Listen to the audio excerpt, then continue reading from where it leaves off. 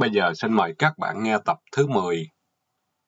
Từ 6 giờ sáng công việc nhà thương đã bắt đầu nhộn nhịp. Theo thường lệ, y công lo việc vệ sinh tổng quát trong khi tôi và nhân viên điều dưỡng đi một vòng thăm bệnh nhân các trại, xong qua nhà hậu sinh khám sản phụ và trẻ em.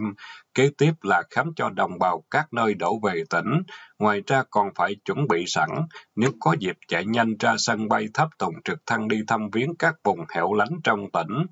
Vì quá bận rộn như vậy nên khi nhận được tin có bác sĩ tổng trưởng y tế lên thăm bệnh viện, tôi đành phải thất lễ chỉ nhờ anh tài xế lái xe đưa cô điều dưỡng trưởng thay mặt tôi ra phi trường đón phái đoàn. Bác sĩ Trần Lữ Y là một người đàn anh đáng kính, rất được cảm tình của các đồng nghiệp vì kiến thức y khoa, vì sự liêm chính đức độ của người thầy thuốc, gan dạ và song sáo ngoài trận mạc. Anh đã từng nhảy dù xuống Điện Biên Phủ năm 1953. Trong trường y khoa, giữa giáo sư và sinh viên thường có truyền thống xưng hô với nhau bằng anh em. Tôi được biết anh lần đầu tiên khi vô trường y khoa Sài Gòn năm 1955, đi thực tập ở bệnh viện chợ rẫy. Lúc đó anh với tư cách trưởng bộ môn nội khoa, anh biểu diễn cho sinh viên cách lấy nước trong tủy xương ức, lấy nước trong xoang phổi xoang bụng. Anh là người xa đét, đồng hương với tôi, cũng là học sinh trường Petruski. Tánh anh bình dị xề xòa, hút thuốc nhiều, dường như lúc nào cũng có điếu thuốc trên tay, ngay cả khi giảng dạy. Anh có tài nói năng hoạt bát, mạnh dạn, rộng rãng, thao thao bất tuyệt. Bác sĩ tổng trưởng đến nhà thương trong lúc tôi đang bận khám bệnh cho một bệnh nhân nặng đang nằm ngoài hành lang. Tôi đứng lên lễ phép chào anh, anh ông Tồn bảo tôi cứ tiếp tục công việc, anh chờ được. Tôi nhờ cô điều dưỡng dẫn ông tổng trưởng đi thăm một vòng bệnh viện rồi trở lại văn phòng. Lúc này tôi đã khám bệnh xong, trong văn phòng chỉ có một cái ghế sofa cũ dựa tường là chỗ ngồi trang trọng nhất dành để tiếp khách. Tôi mời ông dùng nước trà hoa lài nóng với đường cát, là loại nước uống của tôi mỗi ngày ở đây. Sực nhớ anh uống rượu ông già chống gậy. Tôi cũng muốn đãi anh nhưng ở nơi đèo heo này làm gì có thứ đó, nên đành chịu. Chính trà và đường này cũng là do tôi xuất tiền túi mua chứ nhà thương không có chi phí để mời khách.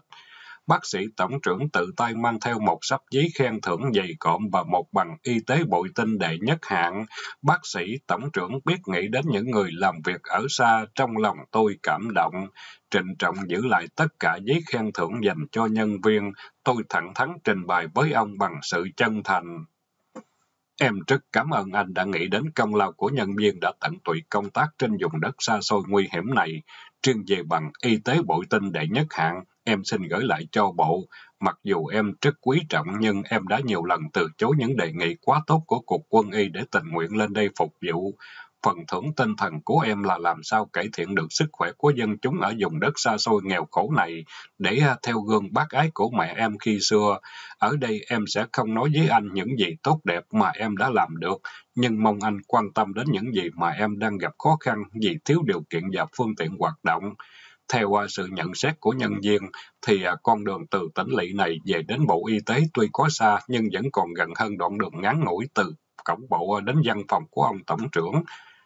Vì vậy, à, nếu có nhân viên trên nhà thương này về Sài Gòn, xin trình diện bộ vấn đề công vụ thì xin anh vui lòng nhín chút thời giờ xem thơ và chỉ thị người đại diện trả lời ngay những yêu cầu, để em còn lo liệu tìm cách xoay sở cho bệnh viện. Anh cũng biết đây là bệnh viện thuộc vùng xa, hẻo lánh thiếu thốn trăm bề, phòng mổ tạm bợ, không có mấy thuốc mê và dụng cụ giải phẫu cần thiết để mổ những trường hợp bị thương nặng hoặc đau ra ruột dư khẩn cấp. Đường bộ lại không sử dụng được vì vấn đề an ninh, gặp trường hợp bệnh nặng phải khẩn sinh trực thăng để chuyển về nhà thương lớn, chuỗi gặp lúc phi trường pháo kích. Chuyện này xảy ra rất thường, máy bay không xuống được, bệnh nhân nằm chờ đợi ngoài trời lại bị thương thêm vì đạn lạc. Bệnh viện thì bị pháo kích liên miên, tổng số 60 giường bình thường không đủ chỗ, nhưng khi có biến cố là bệnh nhân bỏ chạy về nhà chờ em em mới vô nằm lại, nên tạo ra một biểu đồ điều trị không giống ai, đang ở hàng ngang với số 60. Sau trận pháo kích tụt xuống số 0, sau đó nhích lên từ từ như bậc thang. Hiện tượng này xảy ra bất thường, có khi một lần sau đô ba tháng, có khi liên tục một tháng đô ba lần nên không dự đoán được. Tôi nói chậm rãi một hồi dài mọi điều cần nói, ông tổng trưởng chăm chú lắng nghe, thỉnh thoảng ông ghi chú vào cuốn sổ nhỏ. Công việc của nhà thương trình bày xong, tôi lấy xe chở ông đi thăm chi y tế quận Phước Bình. Sau lưng chỗ ông ngồi dấu vết đạn Việt Cộng bắn thủng một lỗ to bằng cái nia. Đối với bác sĩ Lữ Y đã từng vào sanh tra tử nên hình ảnh chiến tranh không lạ gì với ông. Các bác sĩ nước ngoài đến công tác ở Việt Nam, họ vẫn thường tóm tắt khi nói về một ông tổng trưởng tài giỏi và gan dạ. Lúc Việt Cộng tấn công Sài Gòn năm Tết Mậu Thân, ông một mình lái xe jeep chạy ra đường tiếp cứu bệnh nhân sau nhà thờ Đức Bà để đưa vào bệnh viện. Chiều hôm đó gần giờ ra phi trường, anh dược sĩ tự bản thân của tôi Tự sau này qua Mỹ, anh đi học lại trở thành bác sĩ đại tá quân y Hoa Kỳ, hiện làm việc tại San Antonio. Tự tháp tùng theo phái đoàn bác sĩ tổng trưởng ngồi dưới bóng mát xe cứu thương cùng tôi tâm sự, anh nói, anh Lữ Y rất nhiệt tình lo lắng cho ngành y tế. Tôi hoàn toàn đồng ý về nhận xét này, bởi vì anh là đầu não một cơ quan hết sức quan trọng, không những vững về mặt chuyên môn mà còn thấu đáo cả về mặt tâm lý nữa. Theo tôi anh chỉ cần thành lập một ban đại diện thay anh đi kinh lý, giúp anh có được những bản phúc trình vô tư và trung thực, để anh có nhiều thời gian ở trong bộ điều hành chung, biên soạn kế hoạch hoạt động y tế hữu hiệu cho toàn lãnh thổ, phối hợp với quân y để tuyển chọn thành phần nhân sự có khả năng, có lòng với đất nước trong hoàn cảnh khó khăn này. Sau chuyến viếng thăm của Tổng trưởng được mấy hôm thì tôi nhận được công điện bộ, báo tin sẽ gửi lên nhà thương một máy phát điện. Máy này dự trù được gửi cho Bệnh viện Vũng Tàu, nhưng khi biết nhu cầu cấp thiết của Bệnh viện Phước Long, bác sĩ Trần Lữ Y đã đổi ý. Ngoài ra nhà thương cũng nhận được hai máy đánh thuốc mê đơn giản và một số dụng cụ giải phẫu. Không ngờ được tiếp tế y cụ nhanh đến như vậy, tôi hết sức mừng và liền viết thơ cảm ơn anh Tổng trưởng đã xuất sắng giúp đỡ bệnh viện vùng xa. Máy phát điện hạng trung đủ dùng ban đêm cho nhu cầu phòng mổ và nhà bảo xanh. Tôi chọn địa điểm thuận tiện nhất là sau hè nhà thương cạnh bìa rừng, cho xây một căn nhà nhỏ vừa đủ chỗ chứa cái máy, lợp tôn nóc bằng chất dày bao đựng cát để phòng bị trúng đạn, chung quanh cho rào hai lớp kẽm gai để tránh thú rừng về phá phách. Khi hậu sự ban đêm tôi đích thân chạy ra mở hoặc tắt máy, nếu không có mặt anh thợ chánh, Tôi cũng đặc biệt dùng đèn mỗi tối để dạy kèm cho những nhân viên lớn tuổi chuẩn bị để họ thi bằng tiểu học, vì bây giờ có lệnh của chính phủ ưu ái cho nhân viên nào có bằng tiểu học sẽ được tăng lương, dù biết rằng từng tuổi này ngồi mày mò từng nét chữ là cả một khó khăn căng thẳng, nhưng tôi khuyến khích họ cố gắng bởi vì lương bổng có thêm đồng nào hay đồng nấy, đỡ khổ cho gia đình. Riêng máy gây mê tôi cũng huấn luyện được một anh tá viên cách sử dụng đơn giản, chỉ dùng ether với khí trời thiên nhiên. Anh này còn nghĩ ra cách tránh thuốc mê ứ lại trong phòng mổ bằng sáng kiến, dùng một ống nhựa cứng gắn vào máy và đục xuyên qua vách nối ống dài ra sân cho thoáng hơi. Nhân viên ai cũng vui khi thấy bệnh viện được trang bị tương đối đầy đủ cho nhu cầu săn sóc sức khỏe, nhất là khoa giải phẫu được tăng cường y cụ phục vụ cho việc khẩn cấp kịp thời. Tôi nghĩ đến bác sĩ Trần Lữ Y bằng tấm lòng biết ơn khi viết ra những dòng này. Nhà thầu vừa phân phát xong thức ăn trưa cho bệnh nhân thì có xe quân cảnh dẫn đường cho một đoàn xe của quan khách từ Sài Gòn lên thăm bệnh viện. Phái đoàn gồm một số dân biểu quốc hội do ông tỉnh trưởng hướng dẫn.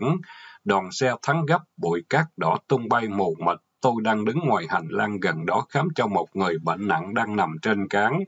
Vô tình chứng kiến bụi rớt đỏ chén cơm rất dày mịch vô tu canh mít nổi liều biểu của bệnh nhân. Tôi cảm thấy bất bình về cách đến thăm nhà thương của phái đoàn, nhưng vẫn giữ bình tĩnh không nói gì với ai. Viện cớ đang khám bệnh để tránh việc phải đích thân tiếp khách. Tôi nhờ cô điều dưỡng thay mặt tôi ra chào và hướng dẫn họ đi thăm quanh khu bệnh viện mới sửa lại khang trang. Khi phái đoàn ra về thì cô điều dưỡng báo lại tình hình và đưa tôi một số tiền lớn đựng trong bao thơ do phái đoàn có nhà ý tặng bệnh viện. Tôi nhờ cô trao cho một bệnh nhân lớn tuổi nhất trong bệnh viện để giao số tiền đó cho nhà thầu yêu cầu tăng thêm thực phẩm tươi trong phần ăn của bệnh nhân kỳ tới.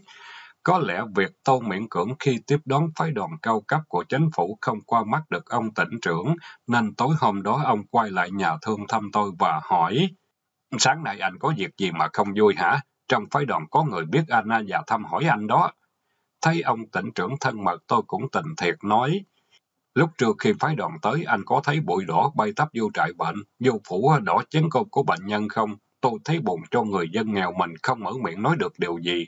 Cấp trên đến thăm quỷ lão dân hay làm phiền dân đây, bởi vậy tôi khó chịu trong lòng. Ông tỉnh trưởng ngồi im trầm ngâm suy nghĩ một lát rồi nói, À, tôi hiểu ý anh và cũng cảm ơn anh đã có những nhận xét rất quan trọng cho người lãnh đạo. Của cho không bằng cách cho, có những hành động vô tình tưởng nhỏ không để ý nhưng đã làm mất lòng tin tưởng của dân cũng à, đáng trách lắm.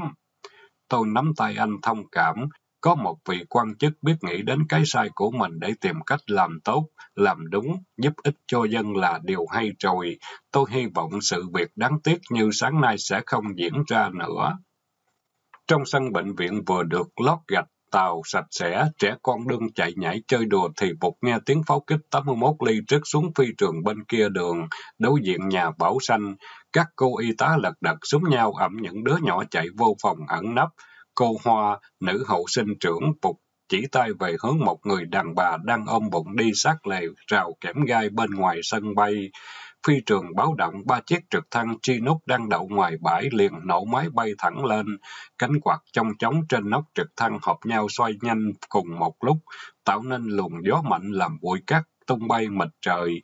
Trong lúc ấy người đàn bà đang mang bầu chưa kịp nằm xuống né tránh, thì đã bị hất văng xuống một hố cạn bên lề đường.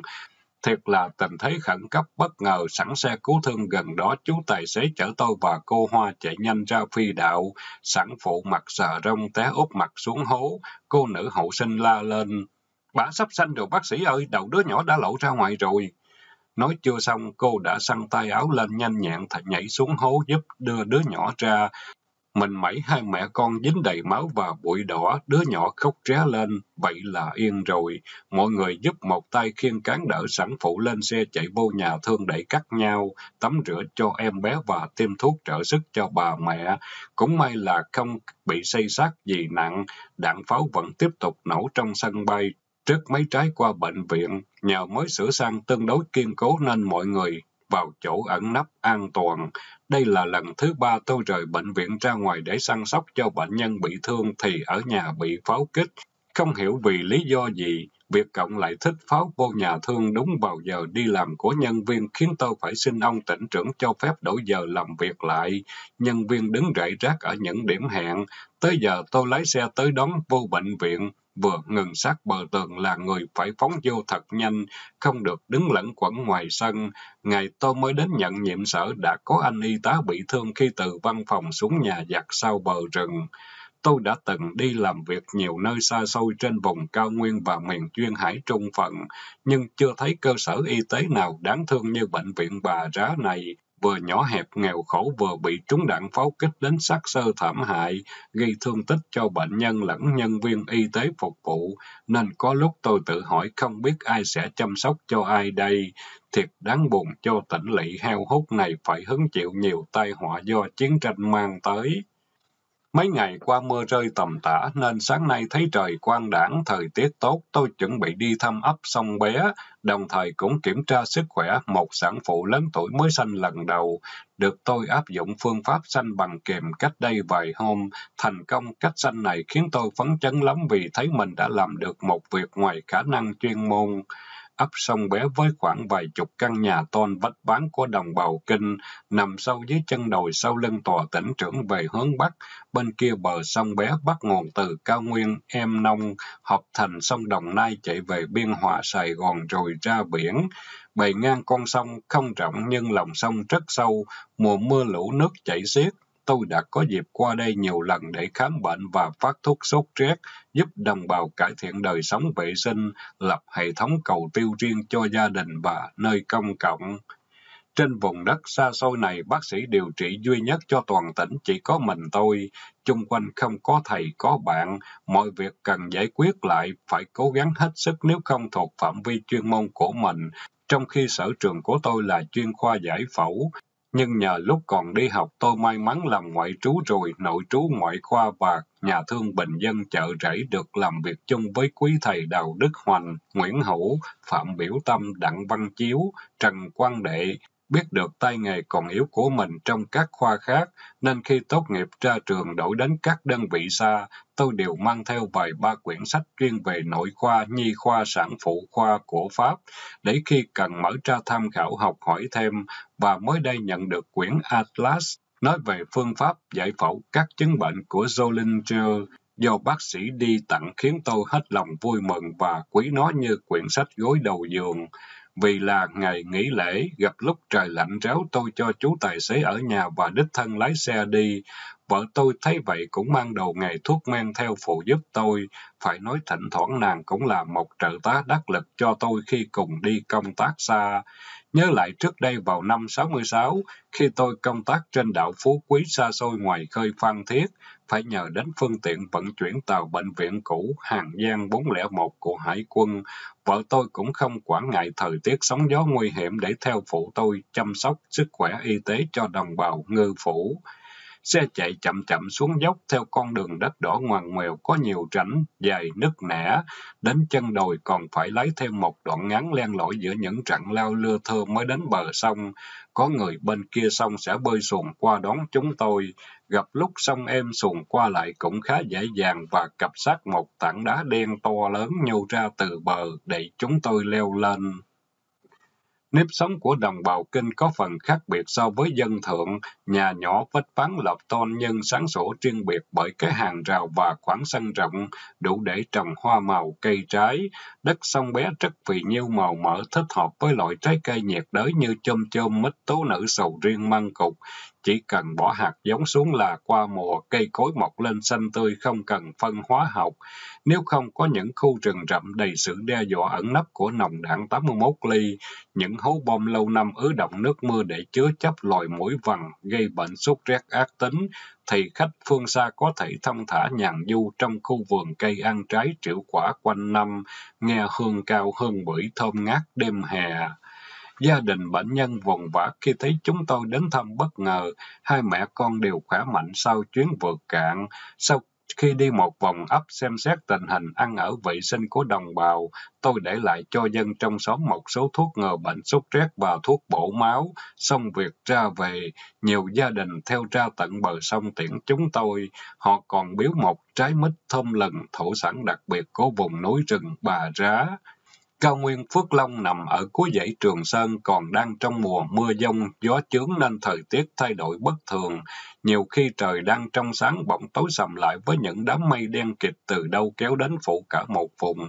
Vừa qua được bên này xong thì mưa to đổ trút xuống kèm theo những tia chớp đáng sợ. Đường về bắt đầu trơn trật khó đi, lao sậy ngã ngang chặn lối. Nước mưa từ trên đồi cao tràn mạnh xuống con dốc biến thành dòng suối nhỏ đục ngầu. Xe lăn bánh nặng nề chậm chạp vì lúng bùn, lội bùn đất sét dẻo quẹo, có lúc không kèm được tay lái. Xe xuyên qua xuyên lại như người say rượu, rồi bánh trước sụp lỗ sâu khiến xe mất thăng bằng nghiêng hẳn một bên muốn lật. Tôi phải vội vàng tắt máy gầy thắng, bỏ xe lại giữa đường. Chúng tôi dìu nhau bò lên dốc cao, cố bám theo lối mòn lầy lội. Chiếc áo mưa mỏng manh không ngăn nổi những luồng gió lạnh thổi phần phật, cuốn lên như sắp vụt ra khỏi đầu càng làm chúng tôi ướt sũng lạnh rung. Trời tối rất nhanh, phải mất gần cả tiếng đồng hồ mới leo lên được đầu dốc, đứng đục mưa sau một chiếc xe hàng hư máy nằm bên lề đường. Tôi ôm vợ vào lòng cho đỡ lạnh, thấy thương bà xã vì theo chồng phải lặn lội vào chúng binh đạn hiểm nguy. Bữa nay gặp mưa gió trên đường công tác, bỏ dép guốc đi loạn chọn leo dốc trượt tới trượt lui mà xót ruột. Hồi nãy xe mà lật xuống đồi thì không biết vợ chồng chúng tôi sẽ ra sao. Mò về tới nhà thì đã gần nửa đêm, con chó thấy chủ chạy ra vẫy đuôi quấn quýt. Một ngày vừa rủi mà vừa may, dù sao đi tới nơi về tới chốn an toàn là mừng rồi, lại thấy được tận mắt đời sống khó khăn của đồng bào và lòng nhiệt tình của họ đối với ai quan tâm, cũng là điều đáng quý. Thành phố về đêm vắng tanh trần rợn như một bãi chiến trường với những hàng rào kẽm gai và mìn Claymore bao bọc chung quanh các cơ quan trọng yếu. Tuy trời tối không có giới nghiêm, nhưng dân chúng vẫn ở trong nhà để tránh nguy hiểm bất thường. Trường hợp khẩn cấp lắm mới ra ngoài. Ánh sáng leo lét hắt ra từ ngọn đèn đường không đủ soi bóng vũng nước mưa còn động lại ban chiều. Trời vẫn lâm râm chưa dứt. Thỉnh thoảng vài tia chớp lóe lên ẩn hiện chập chờn khung cảnh núi rừng bà rá càng tăng thêm vẻ thâm u huyền bí. Về đến nhà chưa kịp ăn uống nghỉ ngơi thì có điện thoại khẩn cấp từ bệnh viện. Chiếc xe cứu thương tôi chạy ban sáng còn bị kẹt ở lưng chừng đồi sau tòa tỉnh. Chú tài xế phải mượn tạm chiếc xe ộp hẹp thường ngày chở thuốc diệt trừ sốt rét đến đón tôi, chạy quanh co trên những con đường nhỏ hẹp trong tỉnh. Khi đến ngã tẻ ra đại lộ sân bay, chú tài xế cẩn thận nhìn lên trời, ngó kỹ tới lui rồi mới băng nhanh qua đường. Hỏi tại sao nhìn lên trời, anh nói... E chỗ này có vậy mà nguy hiểm lắm, khúc đường này có huông. Kể từ ngày thành lập cho tới bây giờ, cứ vài ba năm là có tai nạn khủng khiếp xảy ra. Bác sĩ nhìn xem con đường đâm thẳng vào chân núi giống như tuyệt lộ vậy. Nhân viên mình ngày trước của anh y công sáng sớm đi làm ngang qua đây sơ ý không nhìn lên trời, bị trực thăng đáp xuống thành lệnh đụng chết. Bởi vậy đâu có ai dám thầy bán mạng cho máy bay cán chết đâu. Cái miếu nhỏ dựng xế xế cổng nhà thương để thờ cúng mấy vụ chết quan này đó bác sĩ. Núi bà linh lắm. Mưa càng lúc càng lớn dần kéo theo sấm sét đùng đùng. Xe vừa đậu trước sân là có ánh chớp lóe lên. Tôi thấy như có vật gì lớn cỡ mặt bàn đang lấp ló bay xẹt ngang nóc xe. Bà y công thiết đứng đợi sẵn dưới mái hiên có vẻ sốt ruột chạy ào ra bất kể nguy hiểm nắm tay tôi lôi tuột vào trong mặt hớt hải. Dòng lớn quá bác sĩ ơi, gió thổi làm bay mất mấy tấm tôn ở phía sau kìa. Trại bệnh xe nằm sau phòng mổ, đang xây nửa chừng thì cuồng phong kéo tới làm tôn xúc đinh bay loãng xoảng. Nước mưa đổ xuống động vũng trên nền xi măng mới tráng. Bệnh nhân còn đi đứng được đã chạy sang nơi khác, chỉ còn người bị thương nặng ở chân không lết được đành nằm chịu trận trên giường trung lập cập vì lạnh. Phòng bệnh trống trơn tối thui, y tá trực xuống nhiều những người còn lại sang trại bên. Bà y công theo lệnh tôi xuống nhà kho lấy thêm đèn cày để thắp sáng các nơi.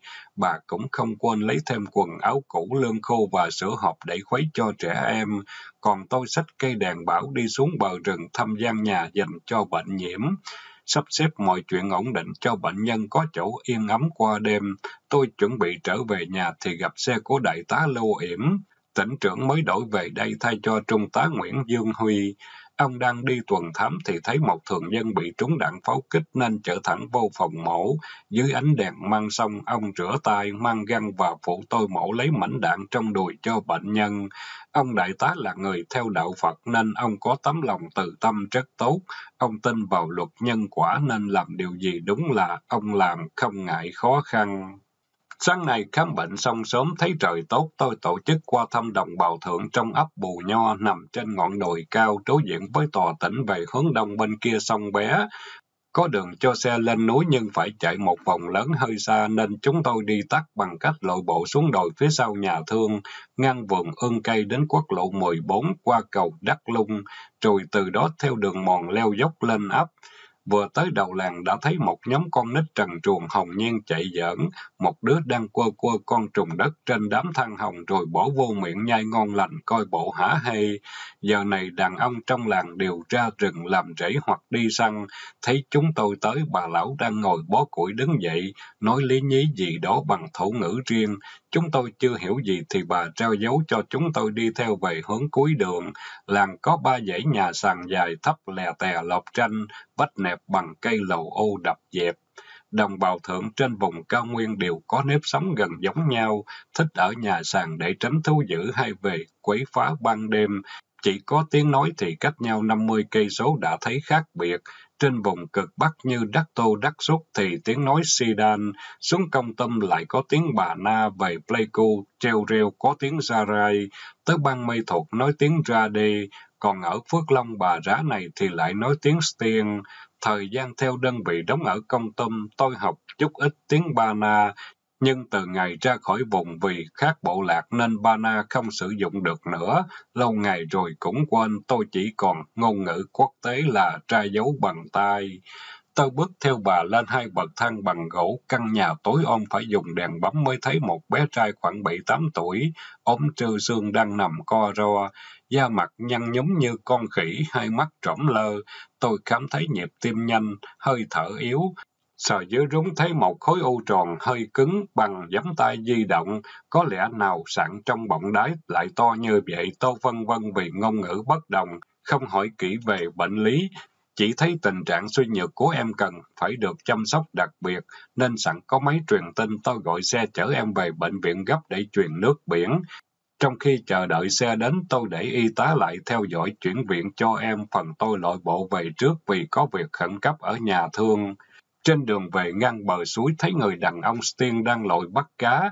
Anh nắm được đầu con cá nhỏ quẹt sơ qua tấm khố trước bụng rồi bỏ vô miệng nhai sống ngon lành. Tôi tò mò hỏi sao không rửa sạch và nướng chín rồi hãy ăn. Anh cười lắp bắp câu tiếng Việt. À, con cá còn ở sạch hơn tôi. Nó tắm suốt cả ngày dưới nước, còn tôi thì à, một ngày chỉ tắm có một lần.